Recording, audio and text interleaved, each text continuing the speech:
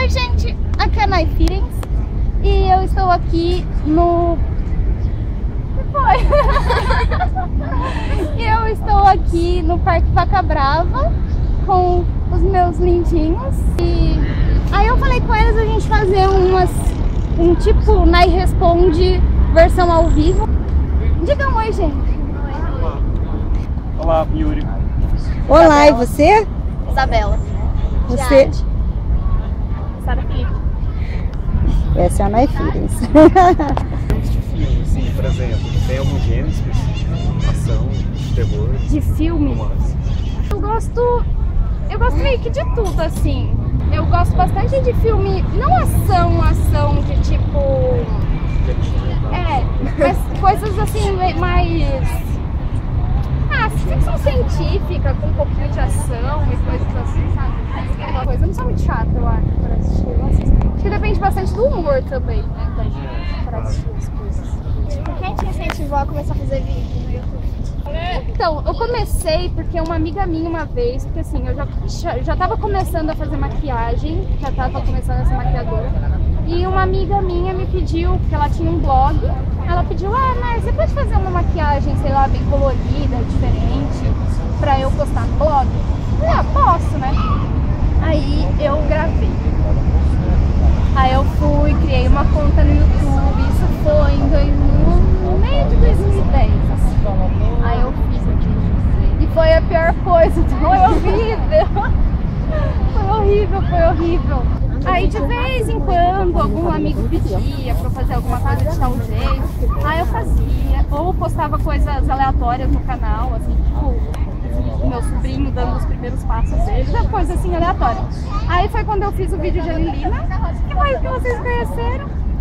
E aí eu- deu resultado, assim, várias pessoas começaram a assistir, comentar, eu falei, ah, legal, por que, que eu não posso levar isso mais a sério, né? Assim, e aí eu comecei a fazer mais com frequência, assim, mas foi assim, foi meio aleatório. Mas tem quem te apoiou? Ah, apoiar sempre tinha, sabe assim, nunca me desapoiaram a fazer, nunca ninguém falou assim, não, não faz, que brega, ai, que sei o que. Sempre que eu postava, é, sempre que eu postava, lógico, os primeiros vídeos eram só meus amigos, né, que, que viam. Mas todo mundo falava, vai que legal, faz de tal coisa, faz de coisa X, faz, sabe, sempre tinha alguma outra coisa que pediam e acabavam me incentivando a fazer.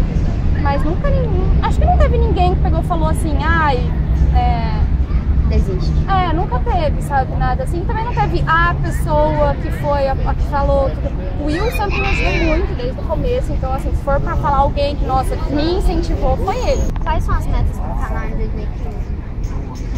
Eu espero.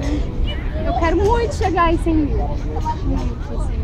E, e aí eu quero tentar diversificar bastante, sabe? Porque eu sei que a maioria do meu público é por causa do cabelo colorido. E eu não vou abandonar isso, então eu sempre vou continuar fazendo coisa de cabelo colorido para as pessoas que gostam.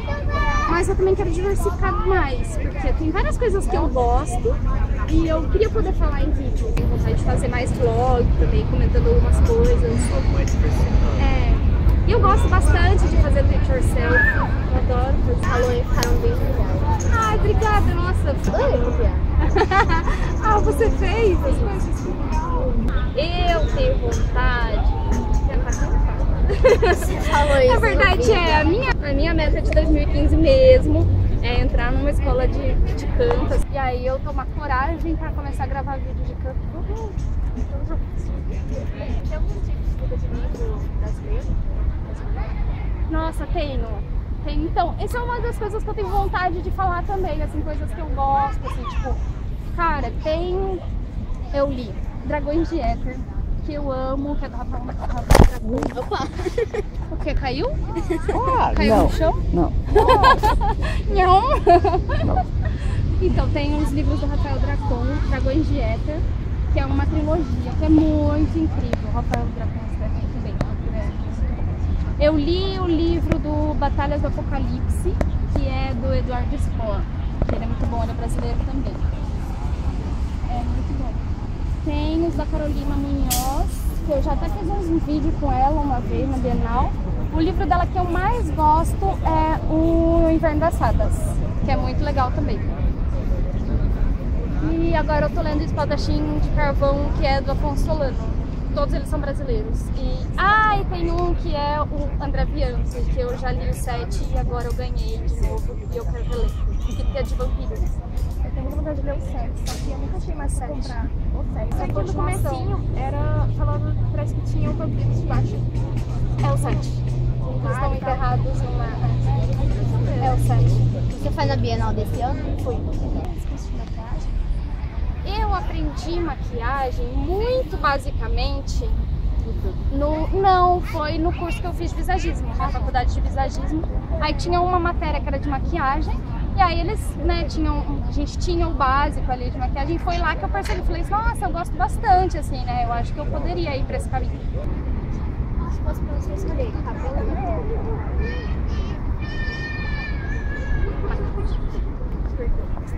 Ah, eu não sei.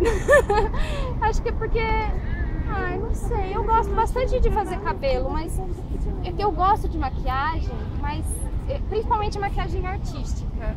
É uma realização, assim, sei lá, parece como se você estivesse vivendo um outro, um outro mundo, sabe? Se você estivesse. Ah, não sei. É, é como se você estivesse criando. coisa que tá na sua mente. É, como se você estivesse criando um personagem, sendo outra pessoa, sabe assim? Ah, é tão de realizar, sabe? Isso é tão legal. Eu acho que eu gosto mais por isso mesmo, assim, não é nada contra cabelo. Mas... Temos de música, teatrais, algo. Então, eu gosto bastante de rock no geral. Eu sou bastante eclética, eu escuto de tudo, assim, eu gosto, eu escuto, eu escuto de tudo mesmo. Menos funk. Ah. Menos funk e pagode.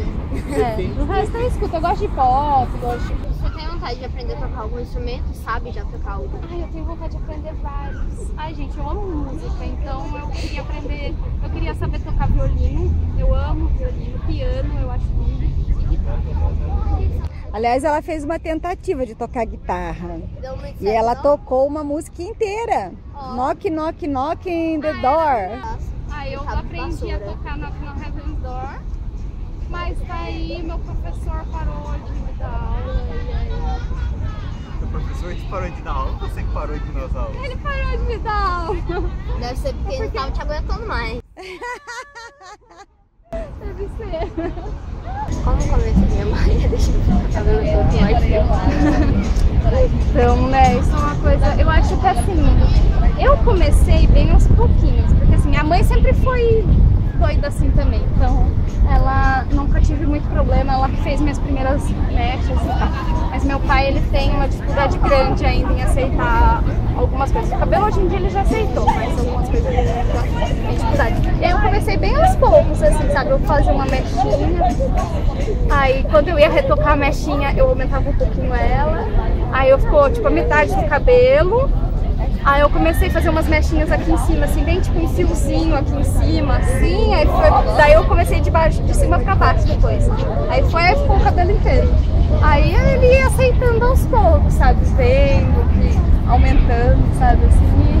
Aí até que ele foi aceitando um pouco mais, assim. Aí eu, eu acho que principalmente eles pensam, acho que não só com relação ao cabelo. Eu acho que a- eles acham que o cabelo vai ligar a outras coisas. É, vai ligar a tatuagem, vai ligar a piercing, vai E, ligar a e drogas. Eu acho que o maior medo são as drogas. Aí, assim, essa é uma curiosidade muito grande que eu quero deixar registrada aqui, que você pode colocar para todas as mães. A Nayara, ela tem uma, uma característica de caráter e personalidade muito fortes e totalmente avessa a qualquer uso de bebida, de droga, de entorpecentes sou careta, não uso droga. Eu acho que alguém me perguntou quando que eu comecei a pintar o cabelo. Eu comecei a pintar com os oito. Oito? Os oito. Foi. Assim, na verdade, a primeira coisa que eu fiz, eu tava na quinta série. Quantos anos tem na quinta série? Não, Sete? Dez. Dez. É, dez. Tava na quinta série. Primeiro, eu consegui o primeiro ano. E aí eu queria, porque eu queria, porque eu queria pintar meu cabelo de vermelho. E ainda bem. Daí eu fui na cabeleireira, falei, ai, pinta de vermelho. Aí a moça pintou de vermelho, mas era só tonalizante. E meu cabelo era loirinho, então ela passou tonalizante em cima, assim, só. Aí ele ficou, tipo, alguns dias vermelho e depois saiu. Aí eu fiquei super frustrada. Falei, ela me enganou, eu não tô com cabelo vermelho. Aí eu tava na oitava, eu pintei, eu tinha cabelo loiro, né? E eu pintei tipo a parte de baixo assim de preto. Passado lá. A Nayara foi muito engraçada, então tem muita história pra contar da Nayara. Porque ela já nasceu assim, engraçada. Desde de neném, ela mamava desesperada, assim, ela empurrava, dava crise de começar E lá ela atrás. puxava o peito e ficava brava e deixava a minha perna tudo roxa, porque acho que não era do jeito que. Depois, logo no primeiro episódio, ela tomava mamadeira, que ela desmamou por quatro meses. Aí ela me olhou pra mamadeira assim, e arrancou o bico da mamadeira, jogou longe, clu, clu, clu, clu, ficou satisfeita. Aí, a partir daquele dia eu tava ótima. Aí ela era a Power Ranger, ela ganhou a fantasia do Power Ranger. Quando ela ganhou uma bicicleta cor-de-rosa de cestinho e tudo, ela ganhou a fantasia do Power Ranger. Aí ela ganhava A cara carrinho, dela. ela ganhava carrinho de controle remoto, patinete, eh, Power Ranger, essas coisas assim. Aí ela ganhava Barbie também, mas aí a Barbie ela cortava os cabelos, pintava os cabelos da Barbie colorido. Você vai falar que eu Fazia rosquinha. É. Aí, um dia ela tá lá pintando eu chego, o que, que é isso? Olha a Barbie amarrada no banquinho que eu tinha, banquinho de cabeça de negócio assim. A Barbie amarrada pelos pés e pelas mãos, assim. Ai, que horror, não, era só um sequestro, não A, era? Nay- a Barbie foi sequestrada, agora aqui no cativeiro. Aí um dia lá na escola, fizeram a festa das bruxas, acho que o problema que entortou um pouco o caldo foi aí. Enfiaram ela dentro do caldeirão e cozinharam. Eu não sabia disso, fizeram isso comigo. Aí ela chorou porque que a Marinês era bruxa. É, venham. Calma. Ai. Não, eu acho que a gente vai ter que. Não, eu sou um desastre, pera. Vem.